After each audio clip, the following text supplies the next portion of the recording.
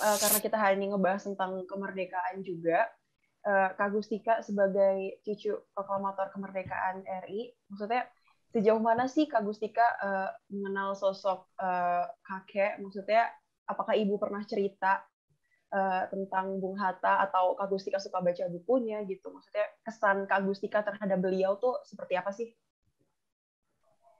Iya, uh, kesan sebenarnya jadi kesan saya terhadap beliau tuh banyak orang yang bukan banyak orang sih istilahnya. Cuma banyak misconception terhadap Bung Hatta dalam arti yang hanya orang yang hanya mengenal beliau dari satu sisi saja. Padahal kalau bahasa Inggris he was a very he was a multifaceted person. Jadi memang banyak uh, sisi dari beliau yang bisa dipelajari jadi uh, nilai-nilainya yang di rumah uh, yang apa namanya nilai-nilainya sebagai kepribadi nilai-nilai pribadinya yang uh, di rumah yang selalu mungkin diterapkan gitu di rumah lalu selanjutnya juga uh, saya sendiri sih kalau mempelajari beliau gitu, saya lagi suka baca buku yang Portrait of the Portrait of a Patriot. Sebetulnya itu kumpulan tulisan-tulisan Bung Hatta dan beberapa adalah tulisan Bung Hatta di masa muda. Dan di situ saya bisa melihat amarahnya Bung Hatta. Jadi dalam arti banyak orang berpendapat bahwa Bung Hatta orangnya sabar dan memang orangnya sabar gitu, tapi dalam arti uh, dalam terlepas dari orang itu sabar, sabar itu bukan berarti menerima, tapi sabar itu dalam arti uh, apa uh, following the process gitu. Jadi percaya pada proses, percaya pada sebuah proses, dan da dalam proses itu ada usaha. Dan um, saya juga melihat gitu pandangan-pandangan beliau yang memang membentuk pandangannya ketika di masa tua. Jadi mungkin di situ sih saya um, belajar mengenali beliau gitu. Tapi sesungguhnya menurut saya nggak ada yang saya uh, mungkin saya punya privilege dalam arti saya hidup dengan ibu saya di di rumah Bung Hatta yang hal-hal kecil bisa saya pelajari gitu. Jadi hal-hal kecil yang saya tidak tahu gitu. Uh, yang mungkin orang lain juga tidak tahu.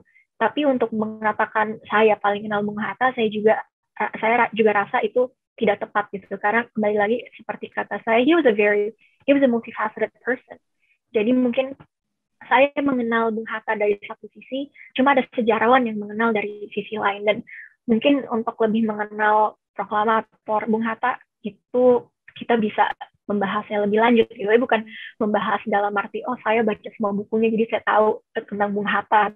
Seluruhnya itu yang sering kali uh, saya kebetulan dapatkan sebagai cucu juga uh, kamu sebagai cucu Bung Hatta harusnya uh, apa namanya berkutat di bidang koperasi. Padahal Bung Hatta juga pernah jadi uh, apa namanya uh, pernah jadi menteri pertahanan contohnya dan latar belakang saya kan memang uh, studi perang gitu jadi tapi ini bukan mau nyama-nyamain gitu tapi intinya kadang tuh orang memang hanya tahu dari satu sisi. Jadi koperasi koperasi aja. Padahal hmm. banyak yang bisa dikaji lagi. Jadi mungkin ini bukan jawaban yang memuaskan karena saya juga bingung mengatakan bagaimana saya mengenal beliau. Tapi memang uh, banyak masih banyak yang saya harus pelajari gitu karena kita nggak bisa mengenal satu orang dari tulisannya saja atau dari uh, apa namanya perkataan orang lain juga gitu. Mungkin yang apa ya saya juga nggak bisa saya bisa bilang oh saya kenal Mbak Dila sebelum wawancara uh, Mbak Dila baik banget kok saya chatting di di WhatsApp bla bla bla tapi pasti ada yang lebih gitu dari dari itu gitu jadi nggak bisa menilai dari satu hal kecil aja gitu Benar. semoga itu cukup menjawab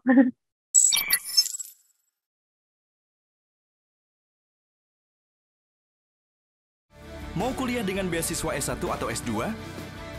bebas uang pangkal semester sampai lulus, bantuan biaya hidup, program magang, penyaluran dunia kerja, Online Scholarship Competition 2021 di akhir Agustus 2021 dipersembahkan oleh, diselenggarakan oleh, didukung oleh